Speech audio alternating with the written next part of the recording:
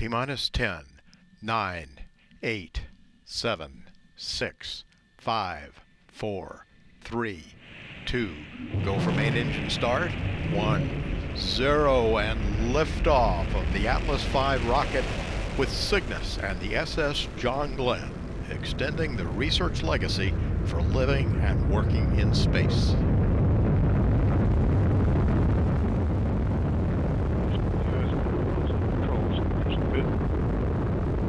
Speeds and injector pressures look good.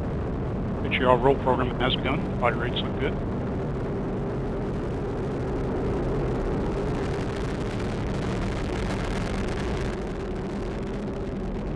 Booster engine continues to look very good.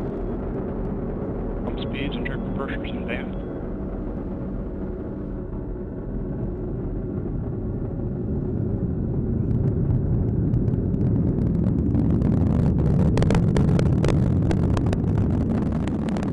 D180 continues to perform well. Now requesting mixture ratio change.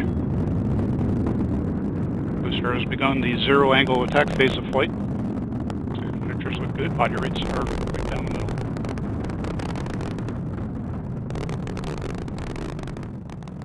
RD180 performance continues to be nominal.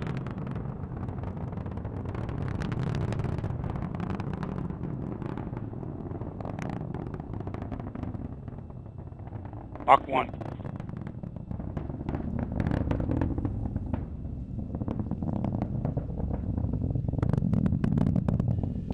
Vehicle now going through the sound barrier.